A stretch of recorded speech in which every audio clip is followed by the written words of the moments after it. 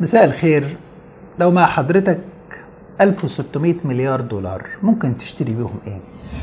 لو كان ال 1600 مليار دولار دول أمريكي تقدر تشتري بيهم نص العالم.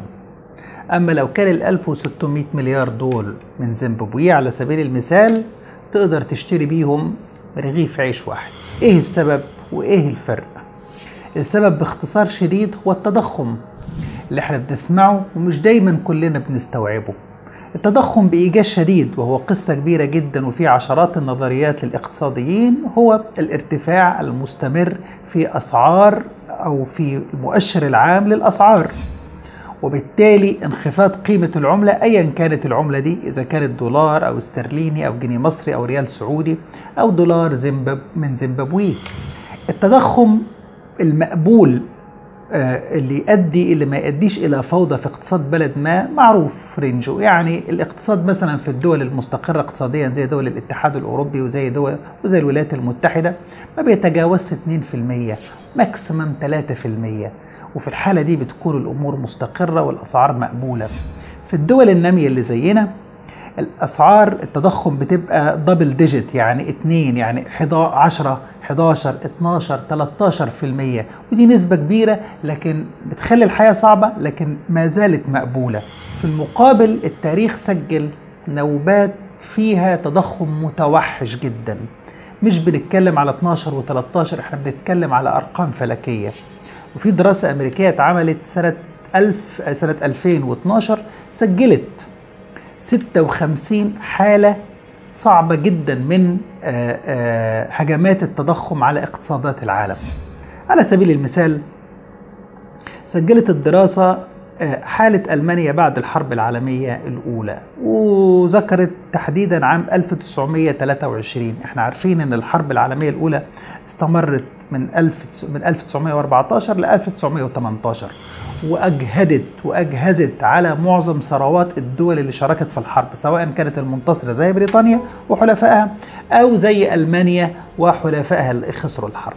على سبيل المثال في ألمانيا كان قيمة المارك قبل ما يبقى يورو كان في 1914 مع بداية الحرب كان يعادل 4.2 من عشرة دولار. يعني كل مارك بيساوي 4 دولار واثنين من عشرة. في سنة 1923 بعدها بكم سنة بقى كده احسبوا وصل قيمة المارك 4 تريليون مارك. يعني الدولار الواحد بيساوي أكتر من 4000 مليار مارك تريليون ديت يعني ألف مليار. يعني بقى رقم فلكي. وتعددت القصص العجيبة والطريفة في أسعار السلع في هذه الفترة العصيبة على الألمان. على سبيل المثال أحد الألمان دخل علشان ياخد كوب كوباية قهوة في أحد المقاهي فطلب الفنجان الأولاني ببص في السعر فلقي إن هو ب 5000 مارك وبعد ساعة وهو بعد ما كمل قراية الجرايد طلب فنجان قهوة تاني. لما جات له الفاتورة بالفنجانين جات له 14000 مارك. هو متوقع ان يكون 10 فلما سأل السبب قالوا له في الساعة الأولانية. أنت ما طلبتش في نفس الساعة. الساعة الأولانية كانت ب 5000 لما طلبت الفنجان الثاني وعدت ساعة كان السعر تقريبا تضاعف من 5 إلى 9000 مارك التضخم مش قاصر على التجربة الألمانية بعد الحصار الأمريكي للعراق بداية من التسعينات ثم الغزو الأمريكي للعراق في 2003 انهارت العملة العراقية اللي كانت عملة قوية قبل الغزو بحيث إنه ما بقتش الناس تعد الدينار العراقي ولكن كانت بتوزنه لأن العد كان مجهد جدا. طيب هو بالأساس التضخم بيحصل ليه؟ نظريات التضخم كتيرة وتفاصيلها كتيرة مكانها السليم في كتب الاقتصاد. إنما بمنتهى البساطة اللي ممكن يبقى يعني تعريف بسيط إنه كم كبير من النقود بيطارد عدد محدود من السلع. لما الدول ما تكونش بتنتج ويكون اقتصادها منهار عادة بتكون كم الفلوس اللي الحكومات بتستسهل وبتطبعها أكتر بكتير من السلع المتداولة. عدد الشقق ما بيزيدش كل يوم وعدد القطع وعدد الإنتاج بتاع المحاصيل الزراعية ما بيزيدش كل يوم وعدد المصانع ما بيأديش إلى إنتاج بيزيد كل يوم بالمعدل اللي الدول أو الحكومات بتطبع فيه الفلوس. فعندك كم كبير من النقود بيطارد حجم قليل من السلع أو, أو كمية قليلة من السلع. عشان نفهم التضخم لازم نفهم نقطة مهمة جدا لأن هتجرنا الموضوع أهم نسبة الفايدة. عادة الناس بتحط فلوسها في البنوك وبتحصل على فائدة. يعني مثلا في البنوك المصرية اللي بيحطوا فلوسه الأيام دي بياخد نسب بتتراوح مثلا من 7 إلى 9% يعني إذا حطيت آه، 1000 جنيه أنت بتاخد عليهم حطيت 100 جنيه أنت بتحصل على 7 جنيه زيادة في نهاية السنة. هل دي النسبة دي وده بيكون مصدر بهجة لبعض الناس خاصة ممن ليس لهم دخل ثابت؟ يعني راجل على المعاش إنسان ما عندوش مصدر دخل تاني فبيكون سعيد بالدخل ده. كويس إن أنت تبقى سعيد بيه لكن عليك إن أنت تدرك إنه في فرق ما بين الفائدة الإسمية والفائدة الحقيقية. الفائدة الإسمية هي البنك بيديها لحضرتك إذا كانت 7% أو 9%. لكن الفائدة الحقيقية هي اللي بتحسب معاها معدل التضخم. يعني لو معدل التضخم في مصر على سبيل المثال كان 13% يبقى لازم الفايدة علشان تحافظ على قيمة فلوسك تكون 13%. فإذا أنت خدت 9% يبقى كل اللي عملته الفايدة البنكية إن قللت معدل خسارة يعني معدل تآكل أموالك ومعدل تآكل قيمتها الشرائية. يعني أنت بتاخد الفايدة بالسالب أنت بتاخد تقريبا ماينس 4% لو كانت الحسبة كده مفهومة ده بيجرنا لموضوع تاني أهم نعمل له إشارة صغيرة وقد يستحق حلقة قادمة مستقلة. هل الفايدة اللي بتديها البنوك على الأموال حرام أم حلال؟